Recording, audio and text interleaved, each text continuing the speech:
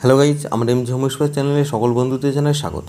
বন্ধুরা, এই ভিডিওতে আমি আলোচনা করব বায়োকেমিকের একটি গুরুত্বপূর্ণ মেডিসিন সম্বন্ধে, যার নাম ফ্রামপস তো বন্ধুরা, ভিডিওটি শুরু করার পূর্বে আমার ছোট্ট একটি রিকোয়েস্ট যেসব ব্যক্তিরা আমার ভিডিও দেখেন, কিন্তু সাবস্ক্রাইব না করেই চলে যান, তাদের বলছি, আমার এই ভিডিও দেখে যদি একটু উপকার পান, তাহলে অবশ্যই আমার চ্যানেলে সাবস্ক্রাইব করে পাশে বেল আইকনটি ক্লিক করে দেবে।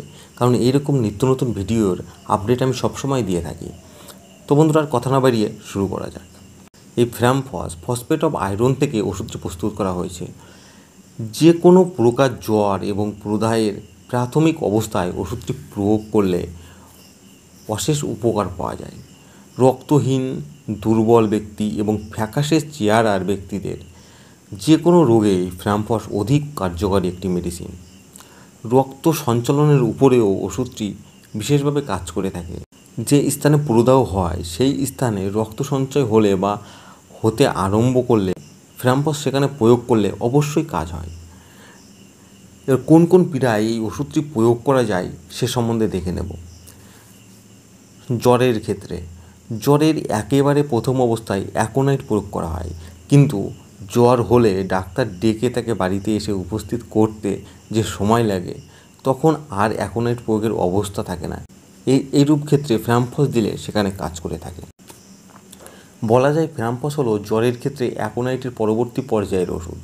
প্রদাহিক জ্বরের প্রথম অবস্থায় ফ্রামফস প্রয়োগ করা চলে। এরপর প্রাদেহিক পীড়া। প্রদাহ হয় এমন পীড়া অনেক আছে, যেমন ঠান্ডা লাগা, নিউমোনিয়া বাত গেটে বাত বুকে এবং মস্তিষ্কের রক্ত জমে যাওয়া, ফোড়া, কাশি এবং যকৃতের প্রদাহ প্রভৃতি। এইসব পীড়ায় প্রথম অবস্থায় ফ্রাম্পস প্রয়োগ করলে উপকার হয়।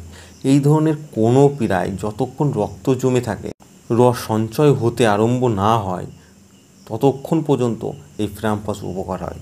যেখানে প্রদাহ হয়, সেখানটা লাল বর্ণ হয়ে ওঠে, চর্ম শুষ্ক ও উষ্ণ হয়ে ওঠে, পিপাসা থাকে, রোগীর ঘাম হয়, মুখ চোখ লাল বর্ণ হয়ে যায়, জ্বর থাকে, নারী হয় কোমল এবং দ্রুতপূর্ণ এবং ঘাম হলে কোনো প্রকার উপশম হয় না এবং বেদনাও থেকে যায়। এইরূপ উপসর্গে ফ্রাম্পাস প্রয়োগ করলে ভালো কাজ করে থাকে। এরপর কেটে যাওয়া। শরীরের কোনো স্থানে কেটে গেলে সাধারণত আর্নিকা প্রয়োগ করা হয়। কিন্তু এক্ষেত্রে ফ্রাম্পস প্রয়োগ করলেও উপকার পাওয়া যায়। কিন্তু এইরূপ ক্ষেত্রে ফ্রাম্পস সেবন করানো দরকার হয় না।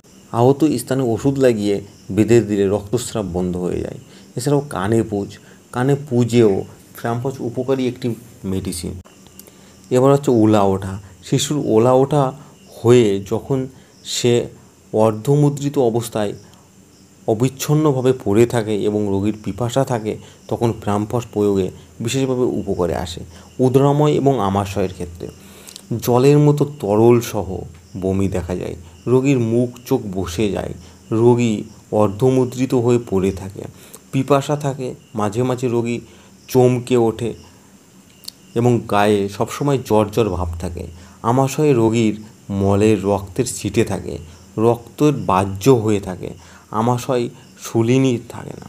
এইসব উপসর্গে ফ্রাম্পস বিশেষভাবে কাজ করে থাকে এবং স্ত্রী ব্যাধির ক্ষেত্রে। স্ত্রী ব্যাধির অনেক উপসর্গে ফ্রাম্পস প্রয়োগ করলে উপকার পাওয়া যায়, যেমন বাধক বেদনা সহ মাথা ব্যথা, বাদিকে ডিম্বকোষের স্নায়ুবেগ বেদনা সহ মাথা ব্যথা দেখা দিলে। অনবরত প্রস্রাবের বেগ আসে।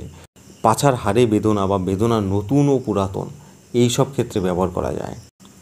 ফ্রামফস যেসব ক্ষেত্রে প্রয়োগ করতে হবে, তার কিছু গুরুত্বপূর্ণ তথ্য আমরা দেখে নেব। ফ্রামফস কোথায় প্রযোজ্য, তা ভালো করে বুঝে ওষুধ প্রয়োগ করা উচিত। সেই জন্য পীড়ায় বৃদ্ধি এবং উপশম অবশ্যই তোমাদের দেখতে হবে। রোগের বৃদ্ধি এই ফ্রামফস যেসব রোগের বৃদ্ধি পায়, তা হচ্ছে একদম শেষ রাত্রে বা ভোরবেলায় বা অতিরিক্ত পরিমাণে মাংস খেলে, চা পান করলে, কোনো উষ্ণ পানীয় পান করলে এবং অধিক দেহ সঞ্চালনে বা অধিক হাঁটাচলা করলে, অধিক কাজকর্ম করলে এই রোগের প্রচণ্ড পরিমাণে বৃদ্ধি পেয়ে থাকে। এই ফ্রামফসের এই রোগ উপশম, তা শীতল দ্রব্য খেলে বা শীতের স্পর্শে বা ধীরে ধীরে অঙ্গ সঞ্চালনে। ধীরে ধীরে হাঁটাচলা বা কাজকর্ম করলে এই রোগের উপশম হয়ে থাকে। এই রকম লক্ষণ এবং উপসর্গ দেখে যদি মেডিসিন চয়েস করা হয়, তাহলে অবশ্যই এই ফেরাম্পস ভীষণভাবে কাজ করে থাকে। তো এই রকম সমস্যা যদি কারও থেকে থাকে, তাহলে ভালো ডাক্তারের সঙ্গে পরামর্শ নিয়ে অবশ্যই এই ওষুধটি প্রয়োগ করাতে পারো। তো বন্ধুরা, ভিডিওটি কেমন লাগল অবশ্যই কমেন্ট বক্সে জানাবে এবং এই রকম ভিডিওর আপডেট সবার আগে পাওয়ার জন্য আমার চ্যানেলে সাবস্ক্রাইব করে রাখুন। তো বন্ধুরা ভিডিওটি এখানেই শেষ করছি। দেখা হবে পরের ভিডিওতে সুস্থ থাকুন, ভালো থাকুন।